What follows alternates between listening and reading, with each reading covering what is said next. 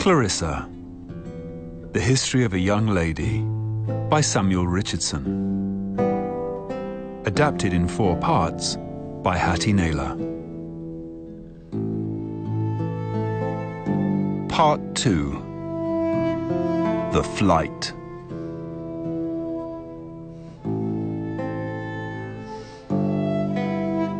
November the 26th, 1747. Farmer's Inn.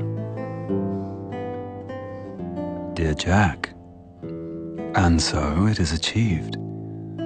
My charmer resides upstairs. The beautiful Clarissa Harlowe sleeps within my tender grasp. She is asleep, my beloved, less than ten yards from where I sit now. Never was joy more complete. Her flesh like white wax, her skin so illustriously fair.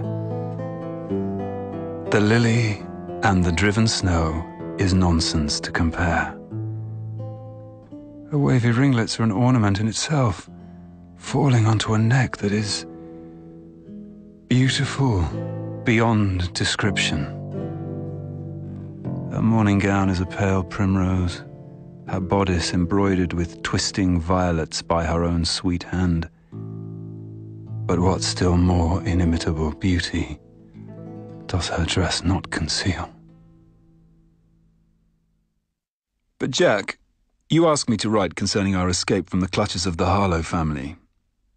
I might not have mentioned that I have a servant of theirs, honest Joseph, in my pay, and so devoted to Miss Clarissa Harlowe, so observant of her distress at her family's behaviour, he has grown by degrees to be more and more helpful.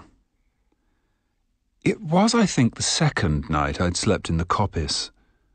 I might have told her the sixth or seventh, but mighty uncomfortable both nights were.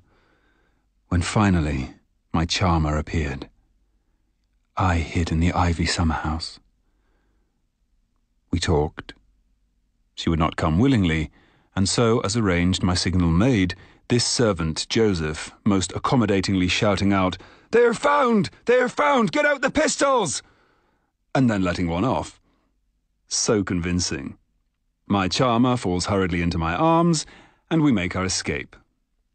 None could be more happy than I though it grieves my pride to think that I owe her possession more to her family's cruelty and her repugnance for another man than to my own immeasurable qualities.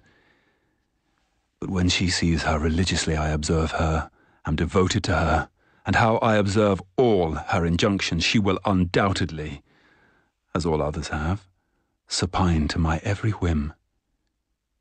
She will love me then, as I am certain in her heart she already does. The inn, passable. Dinner indifferent. Your friend, Robert Lovelace.